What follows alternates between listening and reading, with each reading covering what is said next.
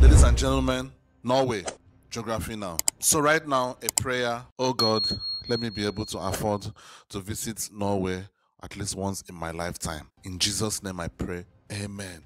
Let's get right into it. Hey everyone, so I'm excited for this one. We recently did a geography in Oslo, Norway, and I had the honor to meet many of you guys, the Norwegian geographies, in your own country. Really? It was amazing. Wow, Norway is a country everyone has kind of heard about, something about snow, ice, Vikings, skiing, I think trolls. But Norway is also a land of highly compounded history, tradition, postmodernism, and above all, landscape and people. And black metal. Yes, Keith is really excited for this episode. Black metal. Okay, that's music. It's time to learn geography. Hey everyone, I'm your host Barbs. We've done Denmark, Finland, Iceland, and now the fourth Nordic sister, Norway. Now, in the Nordic countries, Norway would kind of be like the one that everyone either tries to call their best friend or date. She smiles at the ground, pulls her hair behind her ear, and looks up with those sky blue doe eyes that sparkle and says, Welcome to Norway.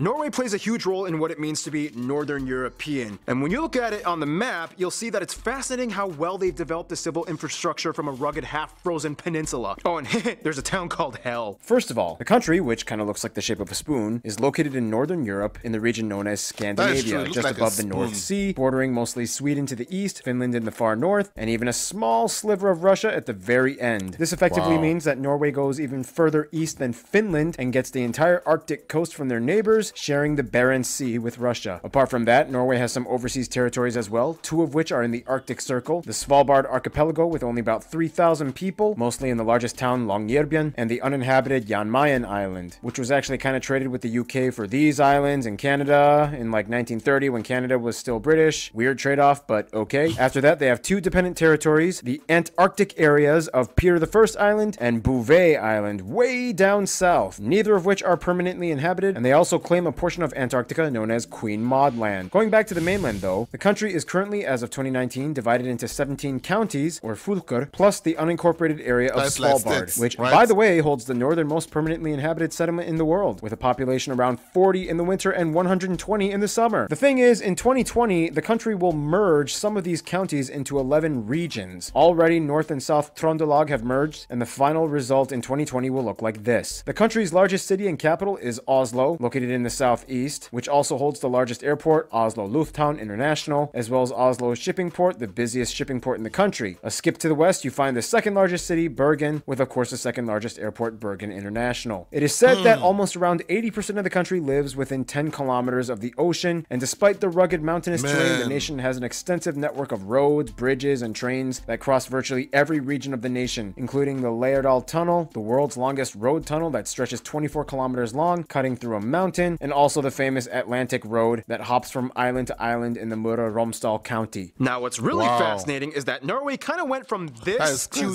this, and for a nation that has never surpassed five and a half million in population, it's pretty impressive. How did this happen, though? Well, as the legend goes, in the 60s, Denmark was like, Hey, Norway, you are just the best. I love you, man, and you know, just to prove it, I'm gonna give you all this ocean water stuff. Wow, really? Yeah, yeah, yeah, yeah, just take it. Thanks. Whoa, there's like a ton of oil here. Thanks, Denmark. Actually, it was the Geneva Convention like 10 years prior to that, but that story's kind of boring. Now, as you can clearly tell, Norway has lots of access to the ocean. Due to all the serrated inlets and fjords, plus islands, they have the seventh largest coastline in the world. This also means that roads and bridges can only take you so far, and in order to get around in Norway's west coast, you'll see a lot, and I mean a lot of ferries and ships. And what's cool is that, like some of their neighbors, Norway has a That is free actually roaming interesting. Like going going from towns to towns, from cities to cities through um, ferries. That would be fun. That would really be fun. I would like to visit this country as well to see. Um, I mean, every time I hear about Norway, it just seems like an a is it an or a an a utopia an utopia no a utopia. That's how it, seems like. And part and part of me feels like the reason why it is possible right now is because of their low population. I think if you have high population, it's going to be a problem. It's going to be a struggle.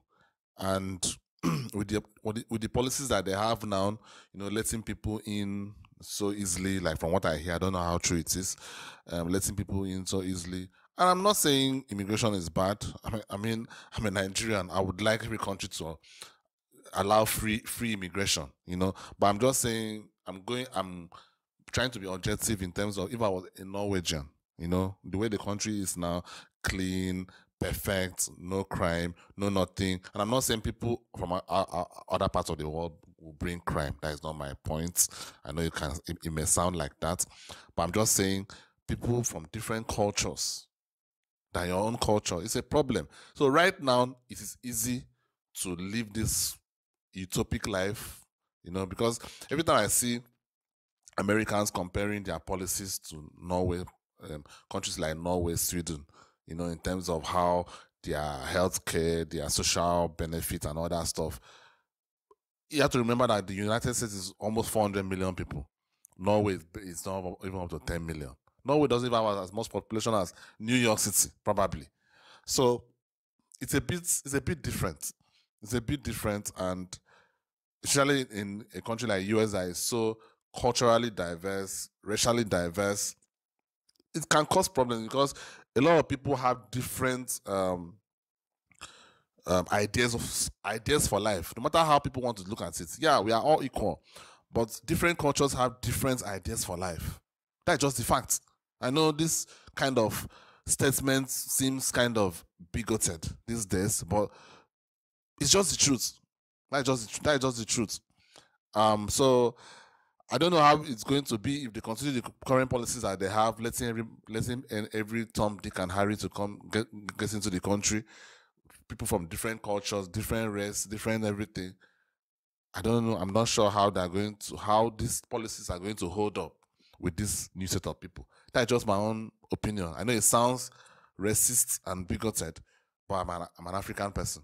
I'm a Nigerian. I'm not as it. I'm just trying to be logical. I'm trying to be objective here, and it sounds like something that could be a problem in future. Law, in which you can pretty much camp out anywhere in nature as long as it is not on private property. We all know some towns in Norway are situated in the most picturesque locations. Some, like this town, have no direct sunlight for six months because of the mountains, so they built giant mirrors to illuminate them. Fun fact Longyearbyen Wow, is known for being nice. both the That brightest be and nice. darkest place on Earth. Because of its location on the Arctic Circle, it gets 110 continuous days of no sunshine and 95 days of no night. Also, they have an emergency seed bank with over a million specimens built into the side of a mountain in case of the apocalypse and all plant life dies out on Earth. Also, technically, it's illegal to die in Svalbard. Because of the permafrost, bodies do not decompose, so you must either ship out your body or cremate it. Not sure how to segue out of that, but let's talk about cool places. now, I asked some of you guys in Norwegian geographies what some of the top places to visit in Norway are, and here are some of the suggestions you gave. Nordkapp, the Viking Ship Museum, Nidaros Cathedral, the Dock of Bergen, the King's Castle, Alta's Igloo Hotel, Frogner Park, and Vigeland Sculpture. I'll visit I'll visit all these places when I get to when I visit Norway. I'll try to visit all these places. Hopefully, all these things I'm just saying, I'm I, I'm speaking it into existence. Obviously, uh, it will probably not happen, but if someone can always hope, you can always hope and speak it into existence. Continue speaking it into existence, and it's going to happen. It's going to happen. It's going to happen. It's going to happen. I actually want to visit. I actually want to visit these um, Nordic countries. Like uh, I've heard so many good things about these places, and it's. Um, I would like to see this kind of life that they're living. You know, it just sounds too perfect. You get what I'm saying? It sounds too perfect. It doesn't. It doesn't seem realistic. So maybe if I go there for myself and go and see it for myself, maybe my opinion, this opinion that I had a couple of minutes ago will probably change. I guess I don't know. The King's Castle, Alta's Igloo Hotel, Frogner Park, and Vigeland Sculpture Park. Try to find the one with the dude fighting the babies. This fortress, this Iron Age farm, the hmm. world's largest moose sculpture, this whaling museum, the Roald Amundsen and Edvard Munch monuments and grave, the Kon-Tiki Museum, the Polaria Aquarium, the Ægir Viking style brewery, the Three Swords Monument, so many traditional stave churches, but this one is probably the most famous one. I mean, there's like a billion rocks named after body parts of trolls. There's that weird boulder jammed between two cliffs, a mountain with a hole in it so it looks like it Wow, got shot this by a gun. remarkable. So many ice caves, the world's strongest whirlpool, so many fjords like Geirangerfjord, Nordfjord, Hardangerfjord, Trollfjord, Harrison Fjord. They were even supposed to give Finland the peak of Mount Halti for their 100th birthday, but then it was kind of like, Happy 100th birthday, Finland! Thanks, Norway. So I heard that you're thinking of finally giving me the peak to my tallest mountain, Oh, right? Oh, yeah, sure, why not? Awesome. Well, then uh, let me have it. Oh, see, there's this thing in my constitution called Article 1, which states that the Kingdom of Norway is indivisible. So Here's a taco. Yeah, Norwegians actually really love tacos, which makes the perfect opportunity to transition into. Now, if you know anything about Norway's land, you'll know this one word fjords. Fjords, fjords. The word is even Norwegian. And it's interesting how it became that way. Basically, like many other areas in the north, the country is a post glacial peninsula with over 50,000 islands that at one point was completely covered in ice. Over time, the ice melted, eroding the rock beneath, creating the incredibly indented coastline of steep, jagged cliffs and fjords. Of the coast, the largest and deepest fjord is Sognefjord, and it is the third largest in the world, extending over 200 kilometers inland. This means that much of the country is divided into regions of choppy fjord stuff to the west and the connected hilly and valley stuff to the south and southeast. Everything pretty much falls either within the alpine boreal climate or further up north, Arctic. Keep in mind that due to Svalbard and Jan Mayen, the Norwegian economic zone extends to the majority of the Norwegian Sea and much of the Barents, as well as the North Sea to the south. This is called the NCS or Norwegian Continental Shelf. Here, the largest deposit of underwater oil is found that supplies Norway with much of its wealth. A skip to the east, you find the largest lake, Lake Mjøsa, which is just parallel to the longest river in the country, the Glomma, which drains all the way into the North Sea in the south and has a drainage basin that covers about 13% of the country's land. A little skip to the west, in the center, you find the longest and most dominant mountain chain, the Scandinavian Mountains, where you can find the tallest peak, Galdhøpiggen, which is also the tallest in all of the Nordics. If we are discussing the overseas territories, then Svalbard is pretty much an Arctic archipelago of glaciers, this one being the largest in all of Europe, and the rest are mostly just cold valleys. Jan Mayen Island is the only place with an active volcano in Norway. The Beerenberg Peak last erupted in 1980. Otherwise, if we skip all the way south to the Antarctic, Bouvet and Peter I Islands are dormant volcanic islands, Bouvet considered the most remote island in the world, and both of which are nearly completely covered in ice and only inhabited by seals and birds. Now, keep in mind about the oil thing though, although they export lots of it, gas is actually still super expensive. According to globalpetrolprices.com, as of 2019, it is just over 17.2 krone per liter, making it one of the most expensive places to get gas in the world. Eh, I Why? don't want to talk about it. This is partially because in 1990, That that sounds like Nigeria. We have oil, but we are suffering here. Sounds like this fucking country. I mean, it, sh- it shouldn't be the case. I thought Norway was like a perfect country. Indeed, they initiated the government pension fund for 17.2 krone per liter, making it one of the most expensive places to get gas in the world. Ah, I don't want to talk about it. This is partially because in 1990 they initiated the Government Pension Fund Global. This is a national wealth fund run by the government to subsidize pensions when oil dependence runs dry. Now, Norway has lots of natural resources and clever ways of managing them, making them somewhat of a paragon for development few other nations can compare with. Challenge accepted. But for what it's worth, they have a unique system locked and loaded. And now it is time for my triple shot of espresso break. Usually this is the part where Noah comes in, but Noah is out of town. So let's give this to Keith. Now, everyone knows that Norway is quite a prosperous nation. But just how prosperous is it? Let's just put it this way. They export more than they import and not just petroleum products. Fish alone makes up about 10% of their exports and they are the highest exporter of salmon out of any other country in the world. I just love Voss water. It's expensive and it's Norwegian, so you know it probably came from like a mystical glacier or something. Yeah, no, that's basically just our tap water. I wash my dishes with that stuff every day. But it's expensive and Norwegian. And you fell for it. Ha! I don't. I've heard that name before. I've heard that name before. Voss Water. I thought it was like a brand, like maybe some kind of like uh a drink, I guess. Don't tell me that it's natural water from Norway. That makes no sense.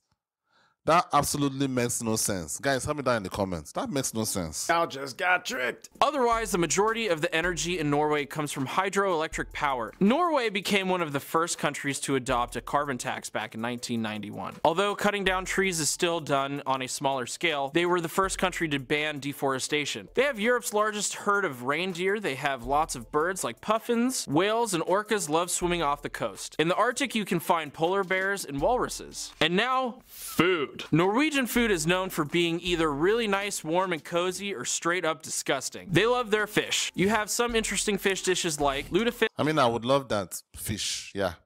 Food with fish. Count me in. Fisk and rakfisk. Some other dishes include things like various types of porridge, pickled herring, hmm. kumla, reindeer made in various ways, meatballs in brown sauce, krumkake, brown I would love to cheese, live here. these Christmas dishes, and the national dish, fårikål. However, if you ask a Norwegian, they might tell you the new national dish of Norway is tacos. They might have some questionable ingredients on the table for you to add, like mayonnaise or cucumbers. And I mean, come on, Mexico, even you break your own rules all the time and mix things up in your own country. So let the Norwegians have their fun. And speaking of Norwegians, have fun. Oh, and speaking of Norwegians having fun. Oh, and speaking of Norwegians having fun, hmm. Thank you, Keith. Norwegians have a saying, they are born with skis. The word even comes from the ancient Norse word skeith, which means split wood. If there was any kind of apex cold winter type of people on Earth, Norwegians would take the gold. And they literally do take the gold, like they have more Winter Olympics gold medals than any other country. First of all, the country has about 5.3 million people, and as of 2018, has the highest human development index out of any country in the world. At about 84%, the country is made up primarily of people that identify as ethnically Norwegian, including about 60,000 indigenous Sami people. About 8.3% of the population is other European descent, mostly Western Europe, and the remaining population is made up of other people groups from outside of Europe, from various regions of Africa, Asia, mostly from countries like Pakistan, Somalia, Morocco, Iraq, and Kurdish people. They use the Norwegian krone as their currency, they use the types C and F plug outlets, and they drive on the right side of the road. Interesting to note that they are not part of the EU, but part of the European Economic Area and Free Trade Association. In fact, Norway is a kingdom, currently under the headship of King Harald V. However, his role is mostly representative and ceremonial. His executive powers are limited, and most government is ruled by the parliament. Essentially, though, although some would argue Vikings kind of started in Denmark, it These European countries, though, like, just give it up. Give it up. Like, they'll still have this monarchy, but the monarchy don't really have a say that much. Most of the countries run by the parliaments. So the monarchy is just there as some kind of representative of their past culture. I, mean, I guess maybe it's. Uh, it makes sense. It does make sense. It does make sense. But it's always just so funny when I see it like, oh, okay, they have this royal family, but they don't really do much. You know, they're just there. Weird. Though, although some would argue Vikings kind of started in Denmark, it really kicked off in Norway. Norwegian Vikings did kind of all the exploring and colonizing and raiding and Killing. killing, you know, Viking stuff. And no, they did not wear helmets with horns. Language wise, Norway actually has two official languages Norwegian and Sami, the language of the minority northern indigenous peoples that have lived in the frigid regions for millennia. The Norwegian language, however, is kind of confusing though because it kind of has two different writing systems that everybody must learn in school Nynorsk and Bokmål. What exactly are they? Well, it kind of goes like this. Hey, we've been in a union with the Danish for centuries and now they are gone. We can speak our own language freely. Woohoo! But we've been writing our language in the Danish style for so long. I mean, what do we do? Do we change it? Hi, I'm Ivar Aasen, and I say yes. I'm going to listen to all the di- Their flags are so Denmark and Norway. Their flags are so similar. Dialects of Norwegian and come up with a weird fusion thing that can work for everyone. I'll call it Nynorsk. We can teach it in schools, and everyone can be free of Danish influence. And today, the Danish style bokmål is still used by about 85% of the population. Weird side note the word ha can mean almost anything in Norway. For example, ha. Ha? Ha. Ha. Speaking of which, like many of their other neighbors, Norwegians have 13 years of school, graduating at age 19. And when Norwegians are just about ready to take their final exams, they go on a three week party called Russ. And just look it up. Norway has lots of different dialects. Here are some of you guys, the Norwegian geography peeps, explaining. På standardnorsk ville jeg sagt hvordan, eh, men i Ålesundsområdet ville jeg sagt hvordan. Hey, my name is Talina. In standard Norwegian, you might say våres, but in Egersund area, you say okkas. In the west, you could say Gysna løyra. And in the north, maybe korarti. In Oslo, you would say something along the lines of Det er ikke lett, skjønner du. Trøndelag County, det er ikke lett sjø. So in standard Norwegian, you would say søppel, but in Bergen, we say boss. Thank you. Otherwise, there are so many other things you guys, the Norwegian geography peeps, wanted us to talk about in terms of your culture. And here is Random Hannah with culture stuff. Norway is a land loaded with tradition and folklore. Many of you have already heard of things like trolls and elves, but there's also scary beings like the Huldra, Nattmara, and the Nøkken. Pretty much all Norwegians are outdoorsy people. Hiking and cross-country skiing are national pastimes hands down. Almost everyone owns some kind of Mari sweater, made of wool with traditional patterns knitted onto the upper parts, usually in the national colors of red, white, and blue. Many Norwegians own small cabins in the woods, and they actually like to brag about how bad their cabins can be. As in how technologically disconnected they are, with the least amenities. No Wi-Fi, no electricity, no plumbing. You're hardcore. Speaking of bragging, in Norway it's considered super cool to come back from vacation and show off your tan, because it's kinda hard to get a tan in Norway. The Nobel Peace Prize is also awarded in Oslo every year. In Norway, everyone's income and wealth is on public record, mostly. But for what it's worth, the nation does this to help prevent tax evasion. And finally, we cannot skip the bunads. These are traditional costumes of Norway that come in so many different varieties based on the region and town you are from. They are mostly worn for special occasions, especially for May 17th, the country's national day, where they march to the castle in Oslo. Yeah, yeah, yeah, yeah. All right, get out of here. I want to talk about music. Traditionally, Norwegians have their own regional folk music and dances called bygdedans. Traditional instruments include things like dulcimers, goat horn, willow flute. The traditional folk music eventually found a way to fuse with one of the most popular genres of Norway today, metal, or specifically Norwegian folk metal bands. Not only that, but black metal was That started supposedly in Norway, and it has since been a domineering genre many people have been playing for decades. That's it for me.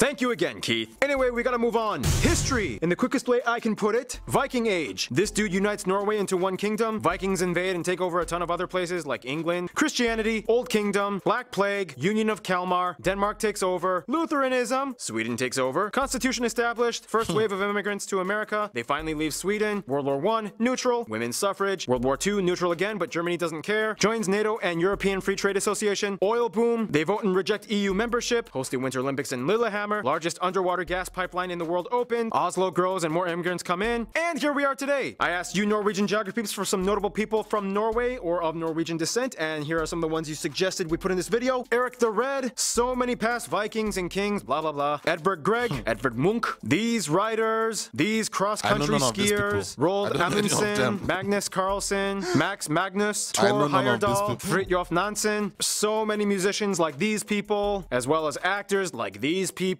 and of course the Oh. royal family. Thor Heyerdahl, Fridtjof Nansen, so many musicians like these people, as well as Oh, really? I only know this guy. Kristofer Hivju. Hivju. Hivju. Tormund in Game of Thrones. actors like these people, and of course the royal family. Seriously though, did you guys watch the movie Kon-Tiki? It's pretty good. I mean, his migration theory Unfortunately, I know one other guy from Norway.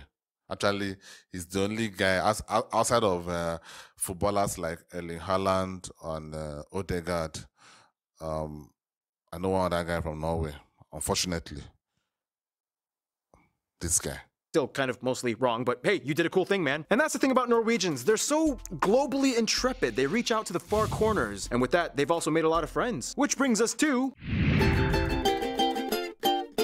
Now, Norwegians are known for being very level headed and nice, but they do know who they support and stand by no matter what. First of all, Switzerland is kind of like their weird alternate parallel universe twin that shares a lot in common with them. They both are not part of the EU, they both are very financially stable yet expensive to live in, they both have mountains and snow, and they both have similar values in general affairs. They get along pretty well and enjoy sharing the ski stories. The UK is a very close friend, especially Scotland due to their shared Viking history. They even give them a Christmas tree every year to say thanks for helping in World War II when their king and government were taken in from exile as the Germans tried to invade. Nepal has close ties. As another mountain Oh, nation, wow. they've taken Okay, much I- interest I and did- send I've- much aid to their did I know that? programs. High profile politicians have visited in the past, like their Minister of Environmental Development, Erik Solheim, and the Prime Minister of Nepal visited Norway as well. For the USA, they have a very close connection, not only in diplomacy, government, and business, but specifically to the diaspora living in the USA, and specifically the state of Minnesota. Nearly a million Norwegian Americans live in this one state alone. The Wow. USA holds more people of Norwegian heritage than any other country outside of Norway, with almost as many as there are in Norway. They even have a game show called Alt for Norge, in which Norwegian Americans see the homeland of their ancestors. They cry and act way too dramatic, which is entertaining. The winner gets to meet their Norwegian relatives, and the losers get a book telling them information, but they don't get to meet their relatives, which is kind of messed up, but it's a game show. What do you expect? Anyway, when it comes to their best friends, pretty much what I've heard is a mix between all the Nordics, but specifically Iceland, Denmark, and Sweden. Iceland is like their party friend they love to go on adventures with. They're also kind of like the preserved Norse nation that their ancestors colonized, which holds a dear spot in their hearts. Today, they have a defense agreement that allows the Norwegian Air Force to survey and patrol the Icelandic airspace as well. Denmark and Norway, however, are always kind of fighting for Norway's affection. Both these nations in the past have fought each other and ruled over Norway under separate kingdoms. All three countries were at one point part of the Kalmar Union. They can relatively understand each other when they talk. Swedish is closer to Norwegian though. They are all part of NATO, the Council of Europe, and many people from each of these nations end up marrying and having families together. In conclusion, Norway's Wow. prosperity doesn't stop with their will for gritty cold adventure. They've scaled the South Pole, the icebergs, the glaciers, and the tundras. It's almost as if the ice keeps them warm. Oh man, oh man, oh man, oh man. Ladies and gentlemen,